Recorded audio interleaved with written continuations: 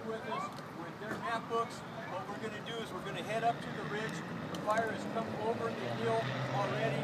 We're going to go in and check out the houses. If there's a spot fire just outside, if you can knock it, knock it. If it's a fully involved house, write it off and go to the next one.